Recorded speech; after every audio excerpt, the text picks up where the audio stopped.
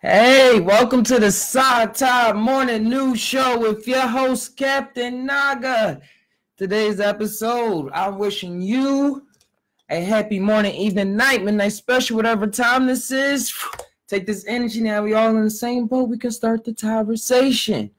This episode, I choose you. I choose you. uh, yeah. But hey, man, thanks for tuning in to the Psy Morning News Show, where we research scientific articles and we chat about them, see what's going on in the world today, in the mainstream, the multi, the mass media, and also in um, scientific articles and studies that a lot of people don't really know about.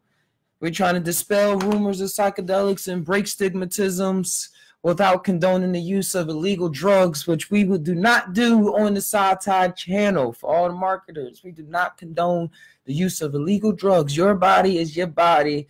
I've just told you what we do. All we do is research and we chit chat and we talk about our past experiences. Shout out to Kylie. All right. So if y'all don't know, check out the YouTube. These are all uploaded on YouTube as well as exclusive clips that I can't upload on Facebook because they take too long. Take three hours to upload those videos on here so far. But if y'all check them out, it's a lot of motivation on there. I go out in the woods and I do what I do. Um, I just tie. I let things out. Just ties when you combine your mind with your heart and you keep that circle spinning. Whatever comes out, it just comes out. Hey man, shout outs to shout outs to India. They they just legalized gay sex, not gay marriage, but that gays can have sex without without getting at least 10 years in jail. And this is the world we created. It's time for a change, man. Things are slowly changing. But we're gonna start this thing. The overview today, I wanted to talk about addiction and what that really entails. And then I want to talk about this awesome African root that was first used seen used in French. I mean, I said French in France, and now is being used in clinics for studies to treat um, addiction. People who are addicted to he- people who are using opioids heavily, and they're addicted to where no other treatment is working. We're going to dive deep. We're going to see. We're going to tie and we're going to see what's going on with this in our world that we created. The more you know. All right. The first, it's funny. The first article is from a government site who, if they would have never made any of this illegal, I wouldn't be here. So, can we get a little thanks? We all will be in different places. Love the world you in. All right, let's start this off with addiction. All right, this is from the link I just put. Drug misuse and addiction. What is drug addiction? Addiction is defined as a chronic relapsing disorder of characterized compulsive drug seeking and use despite adverse consequences. It is considered a brain disorder because it involves functional changes to brain circuits involved in reward, stress, and self control. And those changes may last a long time after a person has stopped taking the taking drugs. Addiction is a lot like other diseases, such as a heart disease. Both disrupt the normal and healthy functioning of an organ in the body. Both have serious harmful effects, and both are, in many cases, preventable and treatable. If left untreated, they can last a lifetime and may lead to death. Yeah, my view on this, we're all we're all here and these bodies are programs. The way I look at it is our bodies are like a computer. If you want to think about the soul, the spirit, whatever it is in the other realm, whatever um, name you put on it, controls this body just like a robot or just like a computer. And a computer, you just you run programs. We're used to running programs based off our feelings and traumas. We see what works, what doesn't work, and we latch on to those by puberty or sometimes around 18 20s 20 something for some people and then we stick to those for the rest of our life and sometimes most of the time we're not in the best situations where grow like i grew up in the projects i grew up straight in projects so i seen people getting shot i seen people shooting up i seen people smoking wet I seen people taking advantage of people on drugs as they walk down the street, robbing them, you know, molesting them, doing multiple wild out things. So it's all it is is it's about the person too. Because I had no, it is about your environment. I was able to escape a lot. Skateboarding allowed me to find my way out of the rut I was in. That and video games. So shouts to them. But other than that, man, when you don't have somebody guiding you from like a higher perspective, your environment is all that you have. And we grow up to be strong in our environments because we don't want to be weak. So to be strong, we take on what we see looks like works for other people. And for most people, that involves harmful drugs like heroin, um, Xanaxes, a lot of different opiates. And the opiate epidemic in America is killing so many people, and it affects so many people that I know back in Philadelphia. And when I out here, even on the mountains where I'm at, sometimes if you see some of the um people, you can tell when somebody's taking some pills or something because they'll just start talking in the street and stuff and try to talk to people but still be like seem like they talking to themselves. Like you you can tell when somebody is on some kind of um some kind of massive upper as heroin and these opiates that hit all them crazy receptors that make people go goo goo gaga. But um and the thing is for them they can't stop it they can't stop because we see in this thing once you latch on to some traits, your um brain switches. Like a lot of people are addicted to social media and their phones and a lot of other things because of dopamine receptors in our head. Like when you do something cool, when you do something that you love, you literally get a hit in your brain and you get high off of it. And you're like, oh, that felt good. And then you go and do it again. That can be tying your shoes, that can be shopping, that can be skateboarding, that can be eating. Um, it can even go up to breathing like, yeah, I felt good. I'm gonna breathe again. um, but yeah, it comes in many different forms. Uh, wait, I lost my track. Oh man, no, no, no. Yeah, yeah, I was just talking about addiction comes in many different forms. Oh, that's that, that marijuana. but um Wow. Dang, I'm just trying to remember the train I was on. Yeah. Oh, yeah, that was the Pacific thing. Dopamine hits. And when the dopamine hits, you get them, you go back for them.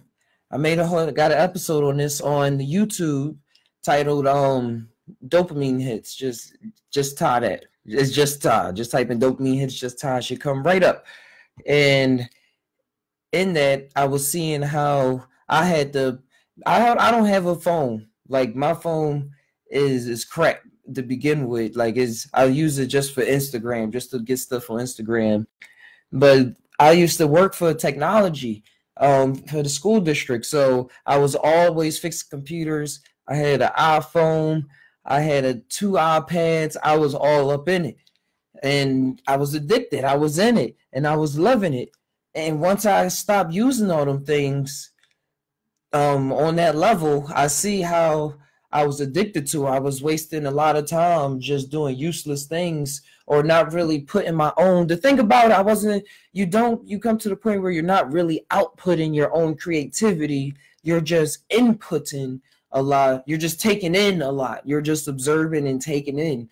And you have no, and with that, you, have no input or no say or what goes on in your reality because you're just taking it in. You're just finding good things that other people did, and you're like, oh yeah, I'm gonna just go with that instead of coming up with your own thing. And if y'all see, oh yes, Music on.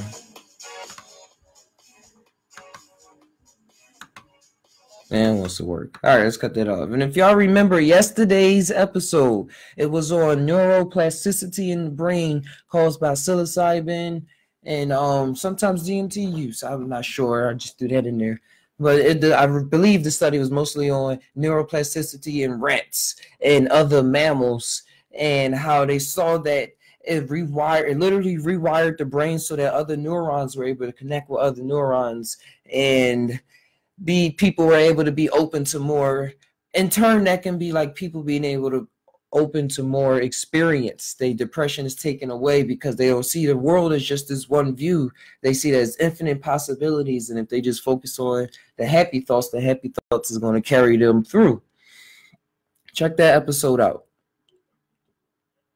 All right um so now what's, what's this thing about ibogaine?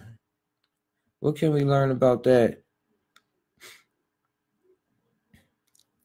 I know that um and the reason I want to go to Ibogaine, it came up in a kind a cool chat yesterday, and everybody was like kind of dumbfounded. So we're gonna we're gonna see what's going on with this. All right. History and stats. The first reports of Ibogaine use in the West came, and this is from they're, they're kind of legit site. Post the link right here. From the third wave.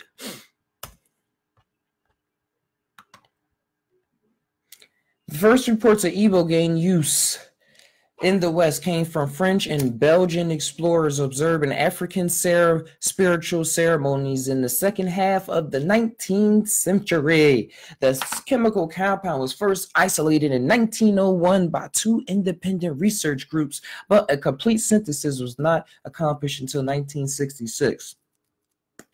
So we see that came from Africa. They were using a lot of spiritual ceremonies, and these French people, explorers, came over. Was like, yo, we can use this. And was sold as a stimulant in France, known as Lambarene, which was an extract of the Tabernanthe manii plant. Hmm. Then it was made illegal in 1966. Wow. Yeah, around the same time, it was made illegal by the FDA. Hmm. Ibogaine's anti-addictive effects were discovered accidentally by 19 in the 1960s by a 19-year-old heroin addict named Howard Lotsof. Salute to you, Howard Lotsof. He and five of his addict friends all noticed a reduction in their heroin craving and withdrawal symptoms after taking Ibogaine for recreational purposes. Hmm. Being the enterprising heroin addict that he was, Lotz Lotsof signed a contract with the Belgian pharmaceutical company to produce a tablet for clinical trials in the Netherlands. In 1985, he was awarded a United States patent for the product. Wow. In 1981, 44 grams of Iboga extracted was produced by an unnamed European manufacturer. And oh, this is a cool story. The entire stock was purchased by a single buyer, Carl Watzenberg, who distributed as an Indra extract to treat heroin ad- addicts in Krishna Krishna Nia, Denmark, a small village with a high number of heroin addicts. A number of local movements took hold in the early mid 1990s in offshore locations in the U.S., mostly aimed at treating heroin addicts. In total, more than 3,000 private clinics and retreats were established, and an entire medical subculture flourished. numerous accounts of individuals fighting and overcoming addictions surfaced. Hmm.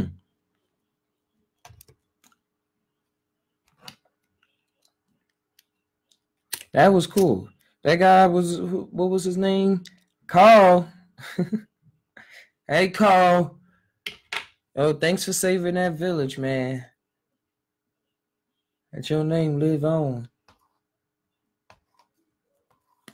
Thanks for tuning in, man. If y'all just getting in, thanks for tuning in. Or if y'all skipped ahead, thanks for tuning in to the Psy Morning News Show.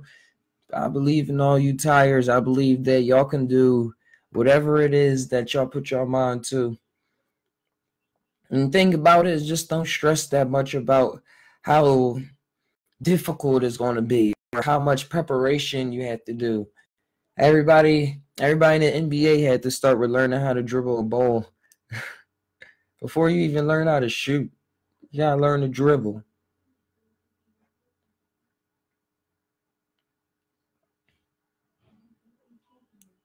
All right, I'm going down this page just to see if it's any more things I want to read on here.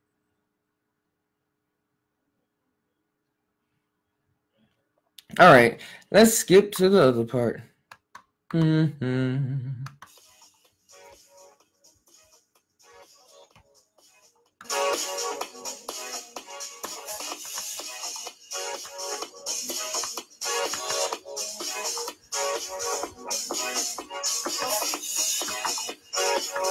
Just give me, give me a second.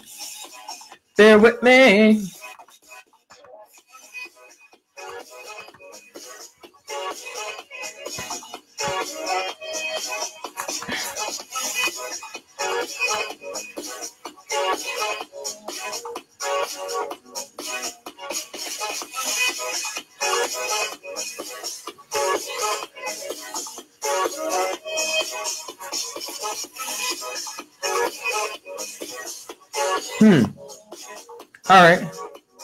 Gonna skim through this one. Let's skim through this. I'm gonna, just put it over here. But hey, what's so raw is that all of this is illegal. I don't know. It's like why when something good is discovered that can change the hearts of people, let alone the mind of the people, is made illegal. It's like love is made illegal. True love is made illegal and it's replaced with a falsehood, something false that tries to play itself off as love. Just tie it. It, it tries to play itself off as love, but it's not. It's just a cover up. and it harbors and it loves addictions and a lot of this other things that's just hurting us. It loves it, and then when we go out and do it, we feel loved. We're like, yeah, this is just what I love doing. Is it really? Is it really? I believe it's a lot of thoughts out here. Here. Hold on one second, guys. Sorry about that. I believe it's a lot of stuff out here that's just made to get you. Well, not made to get you, but once you have to, I think it's made for you to explore that part of consciousness because you're everything. But once you experience it, that's when you have to have the will to be a go to a point of awareness where you're not, you don't participate in that action anymore. It's just a thought that passes through your mind and goes in one ear and out the other. Instead of saying, "Oh yeah, I'm this thought." You're not all your thoughts. I'm coming. I don't think I'm all my thoughts. I really do believe that. I believe consciously I'm all my thoughts, but I don't know. Something weird I've been thinking about. I'm just tying. Just think about it, man trying to fi- fixing this up. Okay, did I send? Did I copy that link? Do do do do do do do do do do do do. All right, let's copy this over now.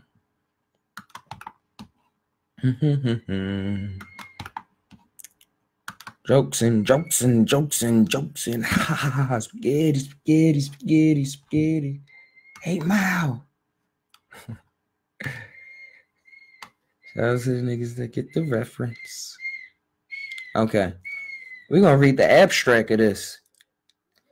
The abstract. This is a study that was done It's titled Treatment of Opioid Use Disorder with Ibogaine, which is Iboga, Detoxification and Drug Use Outcomes by Thomas Kingsley Brown, PhD. Y'all know that means stuff on this room. And Kenneth Alper, MD. And I respect him too. This was made in September 11, 2016. Our abstract background Ibogaine is a monoterpene indole alkaloid used in med- medical and non-medical settings for treatment of opioid use disorder. Its mechanism mechanism of action is apparently novel.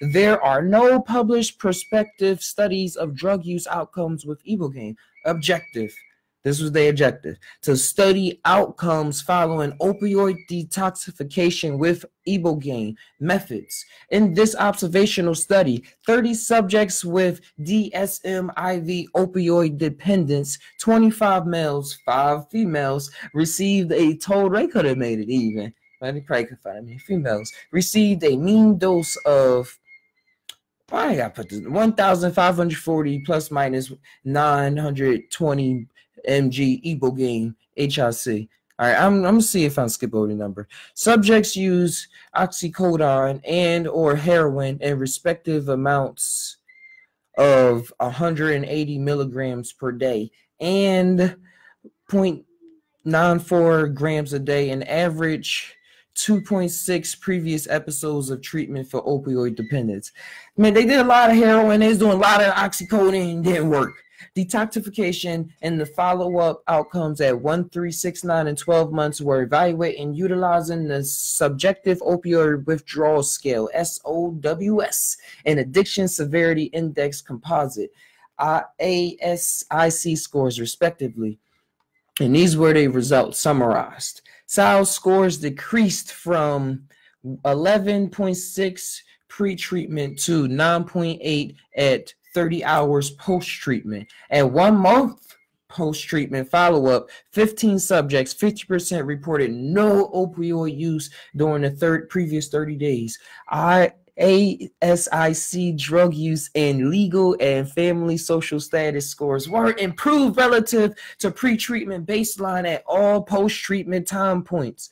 Improvement in drug Use scores was maximum at one month and subsequently sustained from three to 12 months at levels that did not reach equivalence to the effect at one month. Conclusion Ibogaine was associated with subjective effects on opioid withdrawal symptoms and drug use in subjects for whom other treatments have been unsuccessful and may provide a useful prototype for discovery and development of innovative pharma therapy of addiction. And this is a guy with a PhD and a guy with an MD.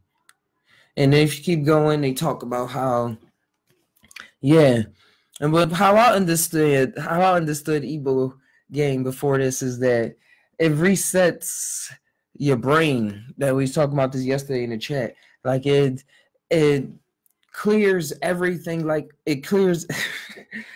I'm no, I'm not using big word, but it clears everything, everything out, and it throws you back in the world.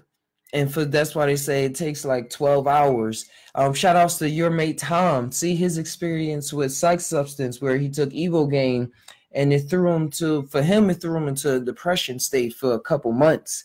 But to each his own, and I'm so happy that he got out strong. He got out of that.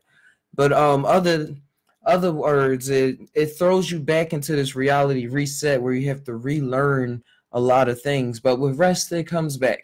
You always come back from psychedelics. That's the thing. A lot of people think you go out forever. You go out into hyperspace, and then your body's just melting away while you like, oh, like no, you come back. You come back, unless you you die, which nobody has off of any psychedelic alone. They have from mixing it and from doing wild things, but from just taking the drug, it, the drug has never killed anybody. You had to eat more than your weight in mushrooms to kill yourself. The LD50 rate is, is way too high.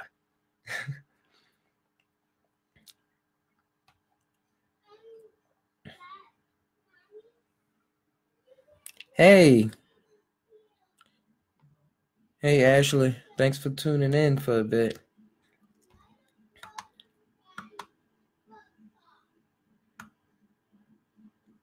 All right, I'm seeing.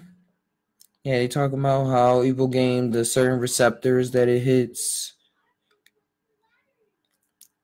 And since we're scientists, well, let's see what they said. Wait. Let's see their discussion. They have a discussion tab.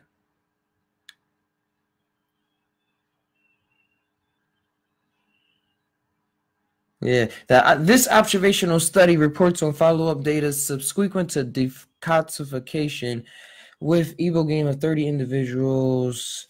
Uh, nope, change my mind. Yeah, y'all can check that out.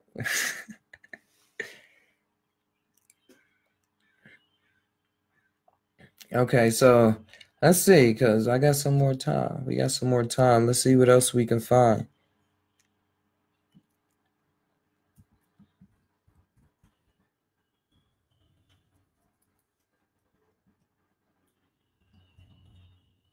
Um, yeah. Something I was just thinking about was creating your own history.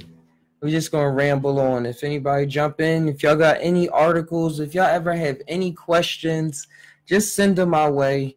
Just let me know if what y'all want the next show to be about. If y'all have a personal concern, if with psychedelics or with life, seeing weird things, just send it my way. We a whole family, and I'll point you to some cool people as well as myself that'll be able to help y'all guys out. So do that. Just tie. Just tie. You don't have to do it. Just tie. but what I wanted to talk about was history and how you need to go out for your you should go out for your own experiences in whatever form that is. A lot of people shy away from spiritual practices because of religion and the organization of it and how they see and it brought us to the point of where we are in reality now. So anything spiritual, a lot of people just brush off. They're like, no, this is it. This is the only reality. This is all that's going to happen. But no, it's more. It's more to this reality, to this, and you need to go out with your own experience because history, the way that is told, is told to keep us thinking the way that you see this so-called sleep thinking. If you're thinking about the matrix, or if you're at a point in your own life where you're thinking about that in your life. And it's so wild because you think you would think that you're good. It's a lot of you would think that you're doing good until you see that everything that you was doing was false. It was just an illusion.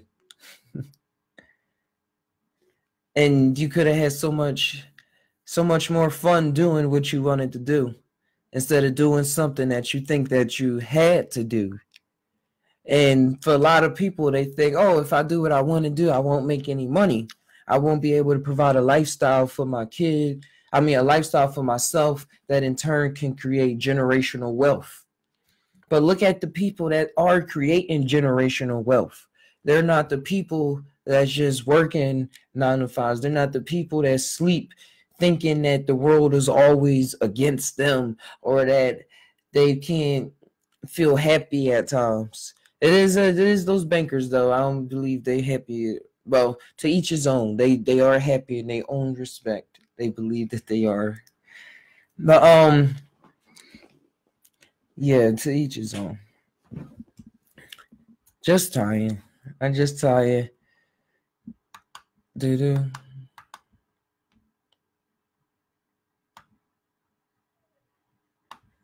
All right, this is episode nine of the Psy Morning News Show.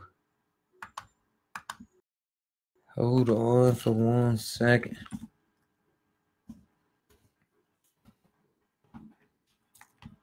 We're gonna keep the energy going, the energy flowing.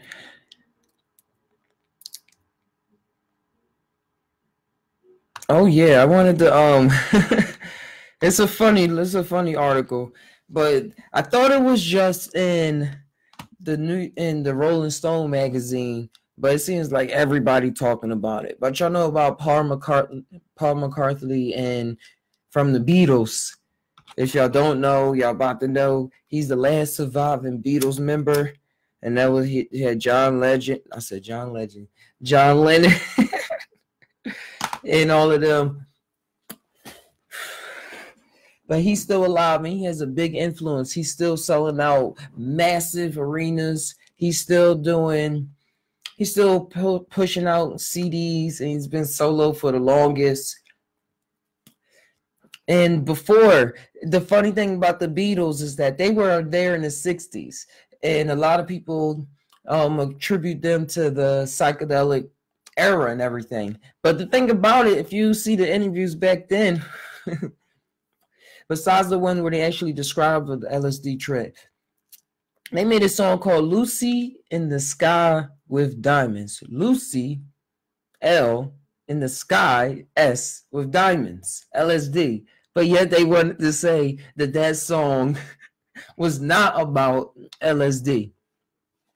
So uh, but they still doing that in today's world. They still doing that today, but today is more about um disguise as sex. But it's a lot of esoteric things too. Just depends on what music you decide to incorporate into yourself. But uh yeah, Paul McCartney. He he now he telling people, he said, Paul McCartney, this is from NBC Connecticut. I go from Rolling Stone to NBC Connecticut. Oh, we're going to flow with it. Here it goes right there.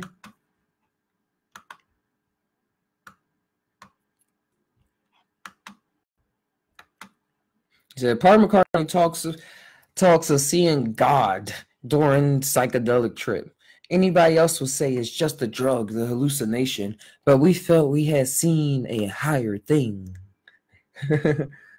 Former Beatle Paul McCartney had told a British newspaper he believes he once saw God during a psychedelic trip. The 76 year old star told the Sunday Times he was humbled by the experience. He said it was a huge, massive wall that I couldn't see the top of, and I was at the bottom. And anybody else would say it's just a drug, the hallucination, but we felt we had seen a higher thing. the Beatles' music was heavily influenced by psychedelic drugs in the band's following years. McCartney also spoke of allowing himself to become to believe that he wait that his love wait McCartney also spoke of allowing himself to believe that his lost loved ones, including his late wife Linda, are looking down on him. Y'all all saw um say y'all saw Wakanda, y'all all saw Black Panther. Y'all ancestors are there. They are there in essence. And then that in essence is not a downplay on words. They're there in essence. That essence is, in fact, the place. Um, the singer's now promoting a new album, I ain't promoting it on here. He ain't pay me. But he's a that's he's a good guy, yes. He's a good guy. and I know a lot of people really not gonna vibe with that, saying that you can reach God with a um psychedelic. But no, he didn't use the word God. He said a higher thing.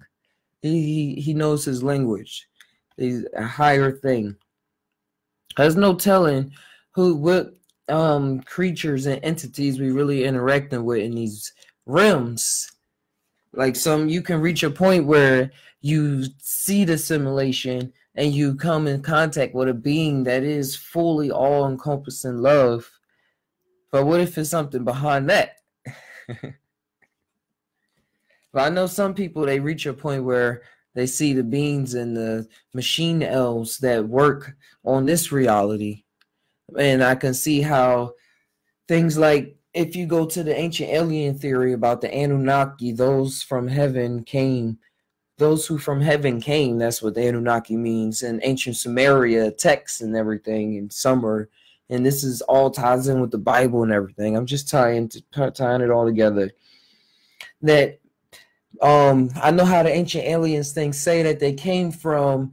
They always talking about metal ships and everything and technology and everything. But what that technology is something that's really is extra dimensional and they really don't exist in this dimension. And when you ingest these psychedelic chemicals, you reach that dimension where they exist, where the so-called gods exist, but they're not gods, but they exist to our level of consciousness when we're not aware of the huge picture as gods. And that's why you see a lot of people out here, I'm tying again, that go around and cause a lot of destruction and anger when they say, oh, God doesn't exist. God is not real. And they become so angry. But for me, I found I went through that same track. I was like, no, God doesn't exist because God wouldn't be killing people. God wouldn't um, enslave people or, or demand this and demand that and demand this. And then you see in the Sumerian text, the Anunnaki guys demanded that they looked for mine gold for them, and that they was building a slave race, and that they engineered the previous species that was there in order to be slaves and work for them. Like it's a it's a lot I'll be tying about. This goes real deep. But what if those instead of like all that ancient alien stuff that is actual technology that we just lost and is never found again. Um, what if it it still is there, but you just can't see it because we're not in tune with that frequency anymore. We're vibrating at a lower frequency where we're not in tune with our light body, so we we can't travel to those places.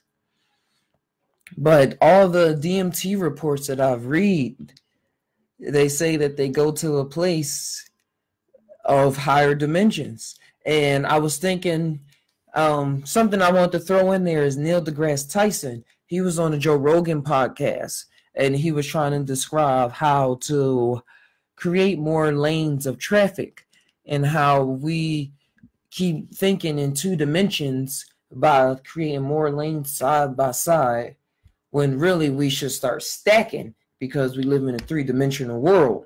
I think I went over this in another Psy Tai morning show, but I'll do it again. He's talking about um stacking, um stacking street lanes instead of just putting them straight, thinking in three dimensions. And he was saying how if we were able to work in four dimensions, he said this so plainly, and that's because the math is already our math, human math is already caught up to explain in four dimensions. It's just that we can't visualize it, and that's what I'm about to get to. But the math now, the highest physicists and theoretical physicists, they're working in eight dimensions. And a lot of people like, how are they just how can you just create dimensions with math? But that's why a lot of people say you don't need a psychedelic to experience these realms. But I believe you do. But when you really push yourself and keep yourself lucid and stay doing something that you love, I believe that something opens up and trickles down so that to that one thing, that one thing you'll be able to channel that spirit. But I believe with psychedelics, you're able to channel everything so you're able to deal with your family life and balance out your life instead of just balancing out that one art that's why a lot of artists are depressed because they're able to do these amazing art pieces and able to channel the spirit and everything, but they don't know how to channel that and keep those channels open when it comes to other parts in their life. Psychedelics, in my experience, is is an ultimate balancer. But back to these technologies and everything, is that um I'm just it's an article it's on the page. I have to find it where one of the ancient alien scholars that appears on the actual show has a whole um, slideshow presentation where he's talking about how he wishes on ancient aliens that they talked about the light dimensions and spirituality more than just saying is physical technology. Um, Yeah, because yeah, I was thinking I was talking about um, I was talking about Neil deGrasse Tyson and the scientist that's just a straight scientist, and he never said that. And he said in here that he never said he don't believe in God. He never said that he was atheist. But um, when he was talking about the fourth dimensions and how we'd be able to stack the layers on top, yeah, I'm backtracking, catches up. But the backtrack and stack the stack it in layers in three dimensions. But if we were able to move in four dimensions, we'd be able to go travel a lot faster from place to place. So I got it on paper again. So say you're traveling from here, from here to here. In four dimensions, space would in three dimensions you will see it as space bending. In four dimensions, you would just be warp it will seem natural, but you'll be warping through space and you'll go you'll be able to travel from one side to the other. You know, you've seen this demonstration in all the movies. You'll be able to just travel from one side to the other and pass through. Bang. And then face space would just unfold itself back to how it was, and you'll just be on the other side almost more than spontaneously. Shouts to this hawk feather, right? I am now Master Master Chief. It's gonna keep that like that. Oh, okay. Um, yeah, but what he was, what Neil deGrasse Tyson said was, if we evolved, I mean, our brains evolved in three dimensional space, so we're not able to comprehend the four dimensional space that he was talking about, except by that kind of lame example that you see by punching the paper through the hole. but if we were four dimensional beings, we'd be able to see everything. And I was surprised that Joe Rogan didn't say, well, in DMT world, you can, it seems as though you're traveling through dimensional space. But I believe our consciousness through these psychedelic drugs is opening up to being able to realize these four or five dimensional spaces that we weren't able to experience for however long we haven't since the Atlantis, Atlantean times or some some something something like that. I don't know. I don't know. I'm just tired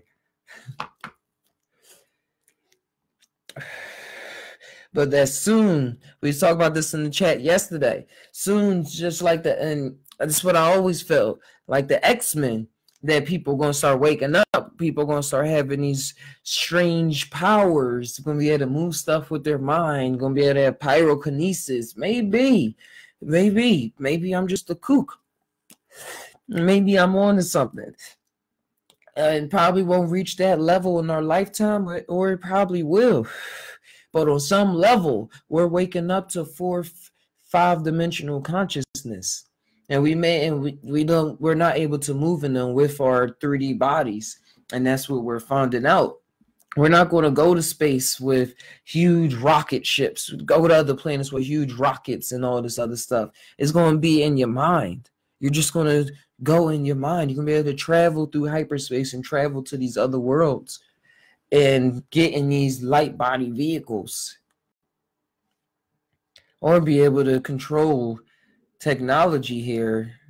I don't know. I'm just thinking about the movies, how they warp technology, be able to move into four dimensional space. Like you and the machine are one, and y'all both vibrate at a higher level to be able to transfer through four dimensional space instead of having to go through three dimensional space. Transformers. I do believe that technology does have a form of consciousness, a form of sentience to it too that we don't realize. I'm just tired. Thoughts getting lucid. But what if, man? What if? Because I know to my experience, God is something that if you even try to describe him in words, besides God, because we all have a consensus on how that feels in our heart, that God is the un the unknowable yet knowable. and it's he's complete love, and that's it. Consciously, he expresses himself as everything, and that's how we all created. And it's just on this level that we see it as being good or bad, but it's just expressions of of the of the all, as they say it in the esoteric sense. And we all exist in the mind of the all.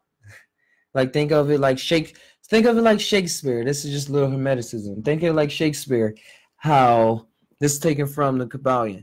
How when um Othello, Shakespeare, and all of them, they all existed in the mind of Shakespeare, but yet they seem to have their own individual lives. They all made choices. Like if you never knew about Shakespeare and you just read Othello book and you thought he it was like a biography, and then you see that somebody wrote that and that it was actually fiction. Imagine what life would mean. Imagine what life would mean. But um that's how I see it. And that we're all just his his mental projections and that is different levels to reach up to that level of him. And that's when you see like higher dimensional beings that look down on other beings and aliens like in the movies. And y'all see his rinks and uh, people others like, oh, y'all don't know what y'all talking about. Y'all don't know how to feel. Y'all just running around all crazy and things like that. If only y'all knew how reality really was, or or they don't really say how however y'all knew because they see how they just see our game from just another perspective. Most people put that in term of angels and the hierarchy of angels, like angels and archangels, and um, demons and the levels of demons. But in my view, demons, or I say daemons, um, a lot of that has just been has just been taught the wrong way because of Christian religion and all other religions trying to just keep people from experiencing knowledge at its true capacity. And knowledge is just for me, knowledge is experiencing the self, is experiencing the all, which is the self. Because this is not the self. Like, this is not myself I'm just a gambler of thoughts. I have cells doing their own things that I have no control over. My blood, white blood cells are always at war, fighting to make sure that it stays at a certain count. My hair is just growing. I can't control how fast my hair grows. It's just growing, doing its own thing. I have is have muscles contracting and taking on protein and converting them. I have no control over that or how it was done over the organs. It's just a lot of things that just happens. And all I believe I am is just awareness. It's just where awareness, and I'm just being aware of the mechanisms that's happening. Just Tai. Just Tai. We going real, really, really deep in the rabbit hole with this one today. This morning or tonight, afternoon. As it gets really, gets really, it gets really, gets really real. Because then it changes how you decide to live your life. Because you're still here. That's the thing about ego death. You don't really die, and well, you you in ego death you experience. Let me describe ego death. You experience what it is to not play the role of Captain Naga or the role of the person that's playing Captain Naga or the person that's playing the role of you of going the job of having a family you reach a place where an ego death where you would and from this perspective you would say you cease to exist. You move you on a higher dimensional plane.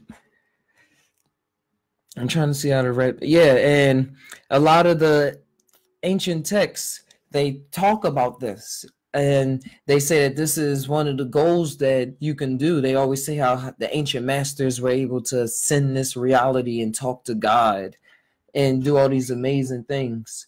And that's exactly what's going on. Either through use of meditation or through use of plant meditation plant medicines mixed with plant with meditations. Hold on one second. I'm gonna get you something to drink.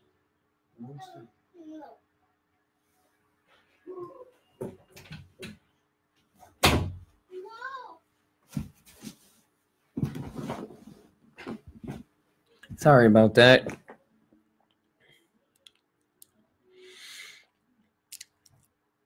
Yeah, I was talking about the ancient people in the text. And remember, um, a lot of people that experience ego death, they're not able to bring back a lot of what they experienced. But I believe that a lot of people that were trained in these ancient world in the ancient world, they were trained before they experienced these realms because they didn't just go by a, a chemical off the street corner or something. They had a master and they had a priest or somebody that life was dead or been dedicated to this task for whatever which reason. A lot, a lot of time in the past, they said it was because of the bloodline and stuff like that. But nowadays, we know it don't matter about your bloodline. We all created equal. Um.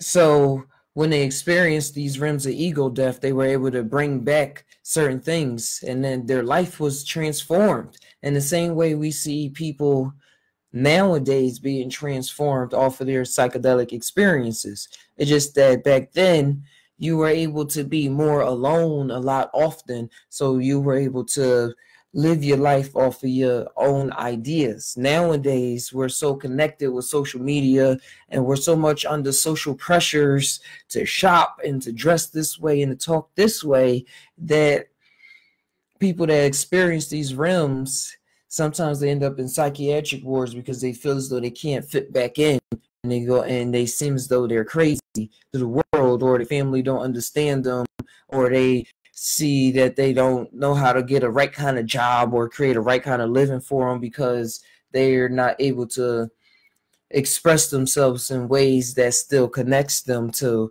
their loved ones or people that's able to help them out.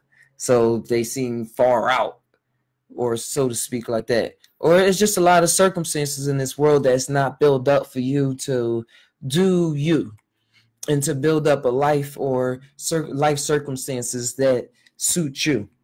They wanted to suit somebody else, and then you just go get massages and try to build your life up just to take care of the whips that they're giving you throughout the day. Uh, Ah, this is fun. Just tired. This is still the Sata Morning Podcast. And remember, remember, this can all be malarkey. This can all be crap. I can all be just telling. I can I can just be telling myself lies. But based off my experiences, this is most true. I don't know the true, true, true, nothing. This is just the most true. And that's why once we start connecting more, we'll be able to share ideas and come together and really get a bigger picture. A bunch of open-minded people coming together. What can what can you're gonna come out with something. We're gonna come out with something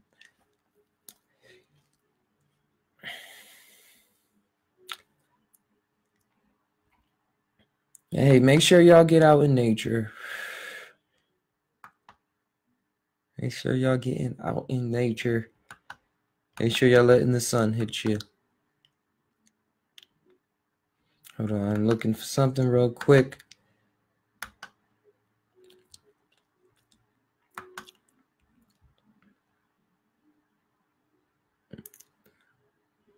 Oh man.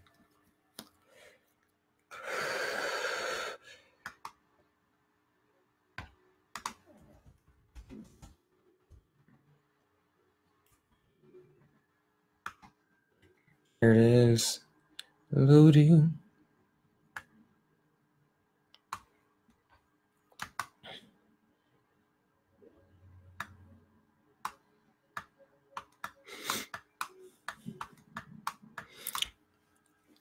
Alright, I guess I'll wrap up this thing about ego death. Because you still exist here but you incorporate. For me, I'm seeing with meditation, I'm um, just meditating and just becoming aware of every action that I do and making sure that I'm making the right choices to me feels like I'm incorporating my higher self. That in turn, that's just what it feels like. I'm gonna, I'm gonna just put it in not too complicated hippie language. It just feels like um, when I make the right, when I become aware of if I'm moving right, why I'm moving right, um, when did I start moving right, why am I not moving left? Well, once I be once I started meditating and really becoming aware of all those little circumstances and little programs, I was able to change it, change it and etch out some things that I didn't like and see how it was affecting other people. And in turn, it's creating a better lifestyle for myself. I'm feeling more uplifted during the day. I'm feeling a lot more happy. I don't walk with my head down anymore. I'm working out. I'm going hitting. I'm going to the gym. I never thought I was going to the gym, guys. I thought I was going to be like a skinny 130, 133 person all my life. But I gained, I'm one, um, 41 now. Just been working out at the gym for like six weeks and I'm a vegan. So, you know, for me, I'm just thinking most of that got to be muscle. Is nothing else. I weighed the same weight since high school. but that, that's just good things. Good things. I'm feeling good about that. All right, we're approaching the hour mark soon.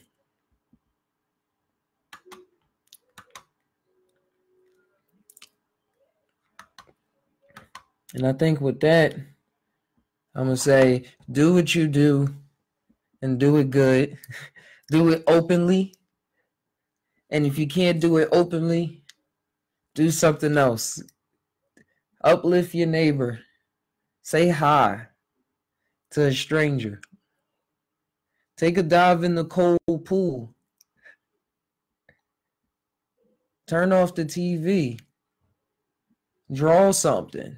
Do a random painting. Do a random jog. Just throwing, just tossing out ideas. Do something that you always said you wanted to do, but said you didn't have the time to do.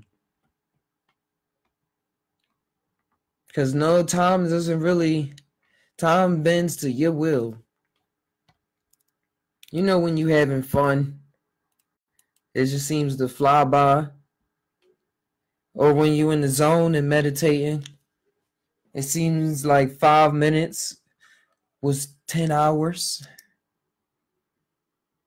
But it feels so good, doesn't it? So why don't we just keep doing things that motivate us and keep us feeling good.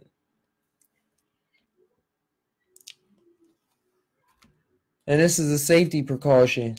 Don't rely on any outside thing to feel good. Things should let you experience what it is to feel good and to let go of things. And in those realms, um, I experienced being able to let go of a lot of things. But you have to build up try building up a lifestyle where you're doing things throughout the day that make you happy and not settling on things that make you sad not sitting around and thinking about looping thoughts in your head that create sad depressed thoughts because imagine if you was able to see that depression physically well yeah physically however you want to put it with your own two eyes, with your own third eye. Imagine being able to see that monster that you keep thinking about every day. Imagine how you think about yourself if you're thinking down on yourself or you think that you're not worth it or you think that you're a monster or anything like that. Imagine if you was able to visualize what that was. Would you be able to look at that person and say, "Oh, I love it." I mean, that's me. Or you say, oh, that's not me. I came to a point where I had to look at that monster and love it, but at the same time say, I gotta love you from a distance, as they put it. I gotta love you from a distance. I know you're there, but I can't work with you. I don't want to work with you. I don't want to be you. I don't want to be that. Because now I know how happy life can be.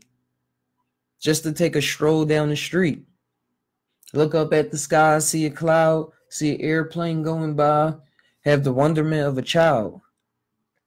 Don't they say in the Bible, the King James Bible stuff, it says, um, you cannot, ent- um, um, I was about to say plagiarizing. I'm coming up my own words for this. Um, they said, "Least thee enter as a child, thou cannot enter the kingdom of heaven." Enter. Let me look this up.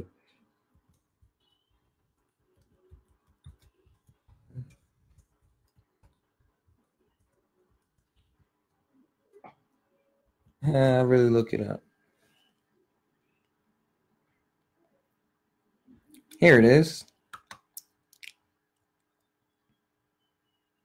That's in Matthew 18 3.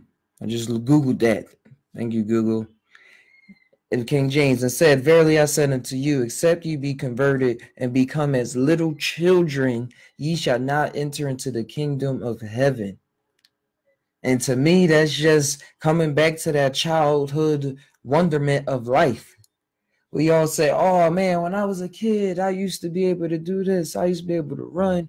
I used to be able to just draw. I used to be able to just zone out and have fun. Life was living. And now I'm an adult and I'm trying to stop my kid from growing too fast. We can go back to those moments and have them now like that same essence of moments. We can still have those now because that's what we need to do.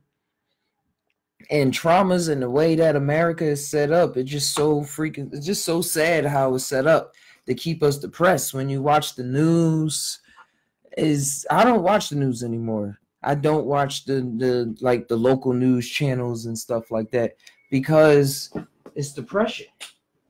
It's straight up just depression. All they showing. I grew up in Philadelphia where we always had the worst of the worst news, where it was always a drive-by shooting, somebody getting shot, somebody still trying to rob a store.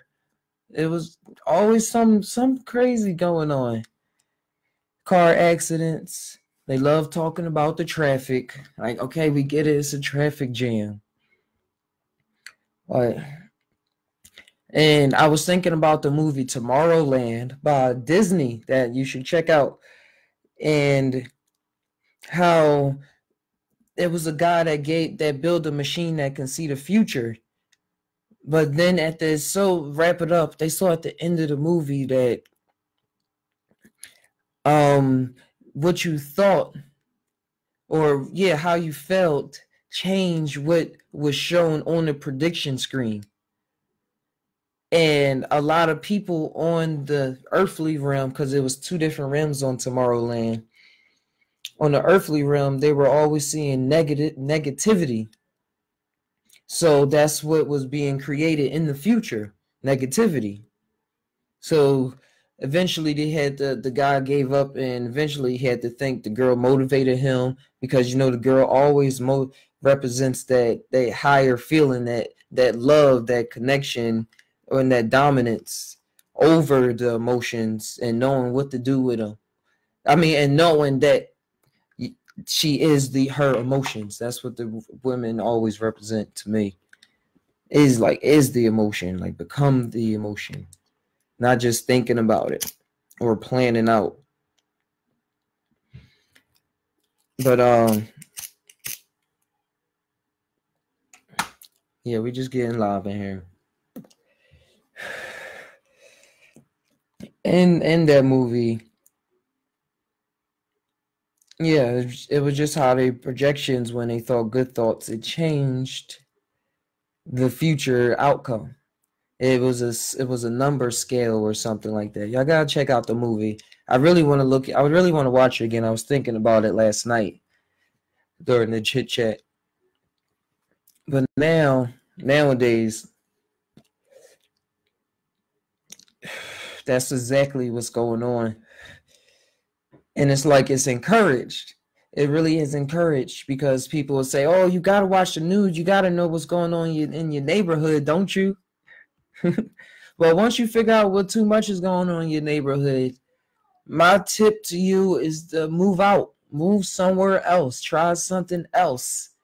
If it's really not fitting you, if it's really so much depression around you, know that that has an effect on you.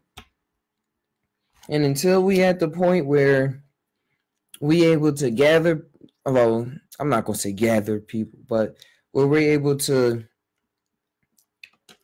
know ourselves to the point where we're not as affected by outside predicaments, then we can come back and do some good. That's like how they say a celebrity or somebody that got money that come back to their hood is still well respected. Just a little metaphor, a little analogy. Mm. But I moved, like I said before, I moved from the projects in Philadelphia to California. And I was setting up the environment for this because we didn't really know where we were moving to. We just wanted to move somewhere that wasn't that much expensive. So we didn't move to a big city like LA or something like that. But I was going out to Fairmount Park. If y'all from Philly, it's only fair. It's a lot of city and there's spots in there where it's called all called Fairmount Park, but it's all like some in West Philly, Southwest, some by the Eagles Field. There's those three huge ponds that I found out about later in life. But I was traveling to those a lot, to those spaces a lot, because I was learning about meditation. And this was before I dealt with psychedelics. I would go out there and I would just meditate, and I just felt happy, and I just felt happy and connected. I felt relaxed. I was dealing with a lot of anxiety. A lot was going on in my life. I had um, a new daughter. Um, I was trying to work for the school district. I was going through a lot, and just with my own um, issues with trying to figure out who I was as a person, because I had all these thoughts about the universe for since I was a teenager. I've always been contemplating the universe, contemplating the universe in the weird ways. Like I was a Ripley's Believe It or Not watching it every day kind of type person. And uh, watching alien shows that would come on three in the morning. And they would only come on like one, three in the morning. I remember my aunt first showing me, and she would watch it, and it was talking about an alien that came to somebody's room and they couldn't move and stuff like that. It was like a sleep paralysis type deal.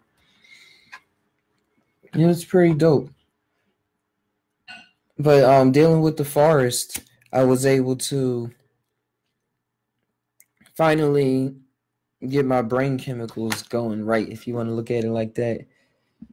And just journeying around there, um, I guess reminded me of when I was a kid.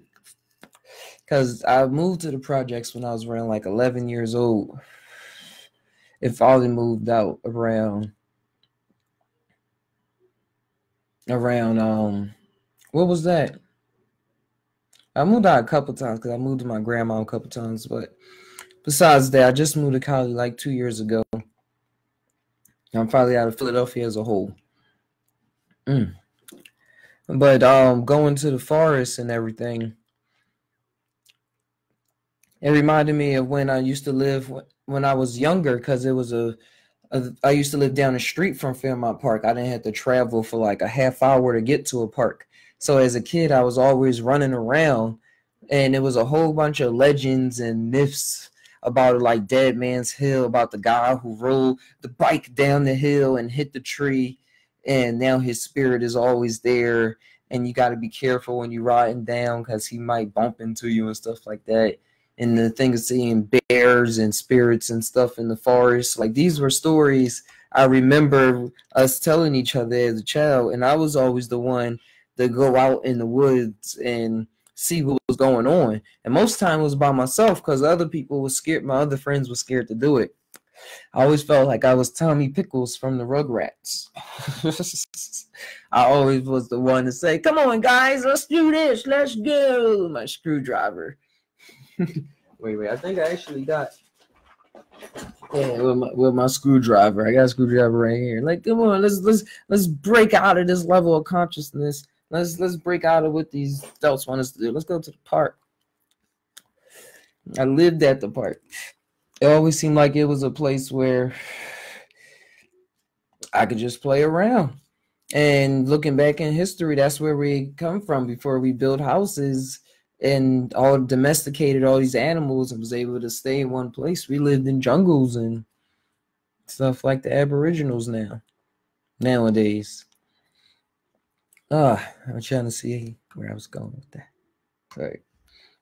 Hey y'all, thanks for still watching. Thanks for listening to this conversation if y'all still in. If you want to support the stream, I have a Patreon page just Tai now. Um, you can look that up. Or just share the video, share this video. Please, please, please. Or join the con- join the next conversation.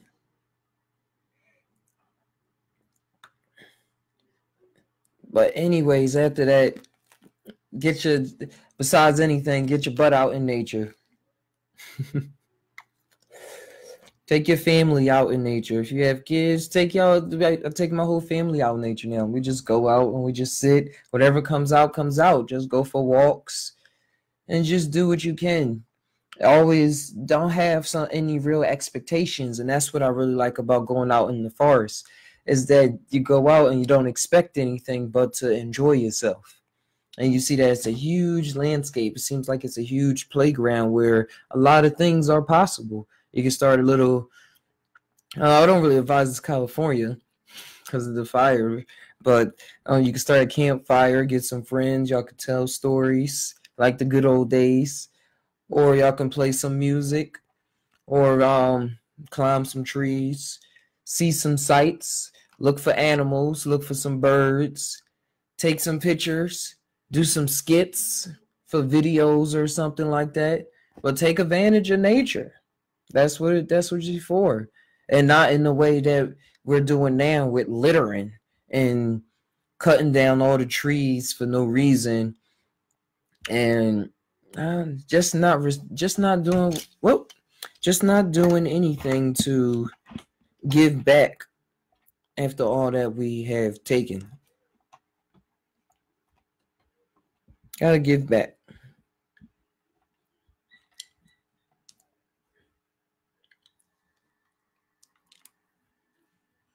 And like you ever you ever um give somebody something and then and then give nothing back?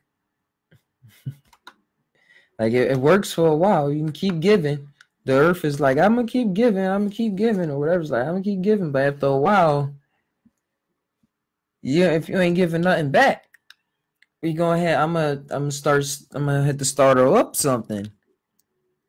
And in what form does that entitle?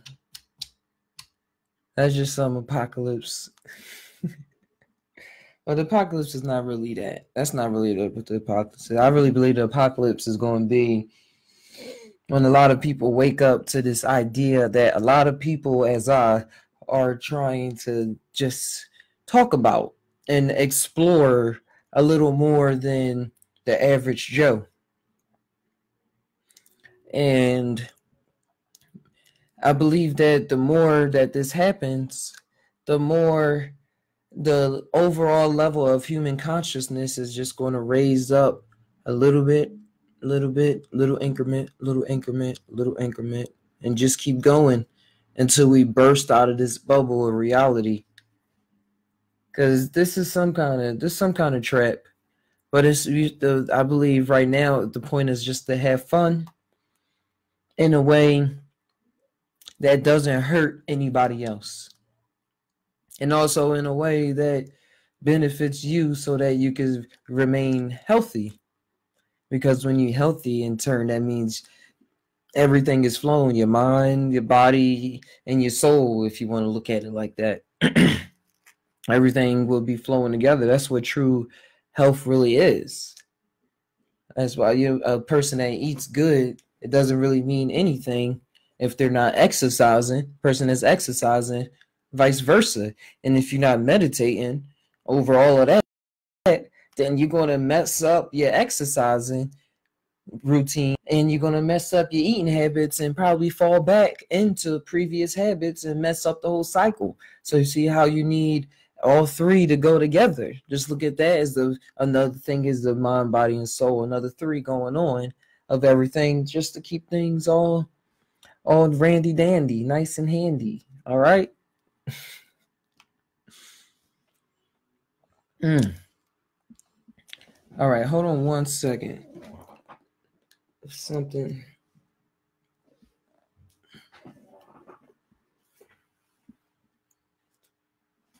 All right. Um to wrap this up, I want to wrap it up with what I started off with talking about addiction. And that is if you feel as though you have problems with addiction, just um hit us up. hit us up. Um just you can email me at just I can point you in the way of some people that I know with this topic specifically. I know a lot as well, and I can answer some questions, but I can point you in the way of some cool people that will be able to help you, whether it's with opioids or drinking too much milk or being angry too much. We can be addicted to a lot, a lot, a lot of things, and it, it all deals with if you want to look at it like this, because you can literally see it all deals with the chemical chemical imbalances. And I'm not encouraging the use of psychedelic drug use because they are illegal, and we do not encourage illegal things on this channel. What I can do is talk to you about things that I experienced, and I can give you real world advice.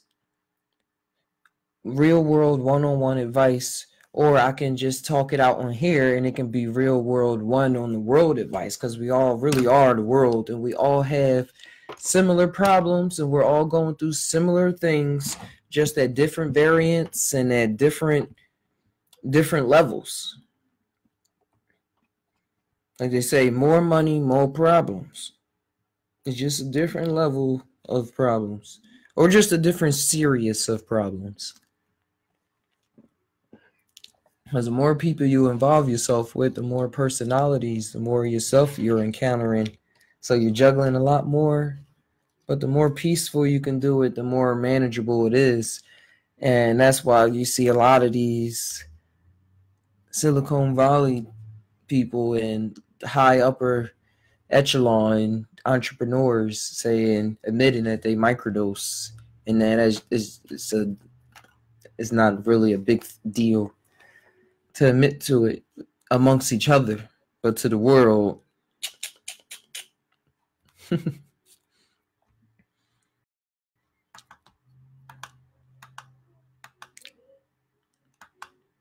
All right, guys. I hope y'all got something out of this. This is the Psy Tai Podcast, episode nine. If y'all want to join, as always, just hit me up so I can give y'all time. But usually it's between seven and nine o'clock. I'll start. Seven thirty to nine o'clock is the start time, almost every day.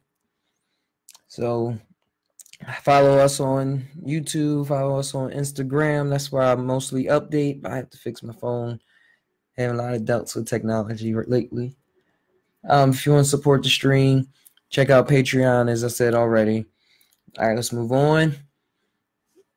this is Captain Naga asking you we all tie. But do we really tie? Sometimes I don't know, dude. Sometimes I don't know. Until next time, it's Captain Naga. Just telling you to enjoy the rest of your day and really make sure that you're making the choices that you want to do. As long as you're not hurting anybody else or hurting yourself. Adios. Shout outs to the fam as well.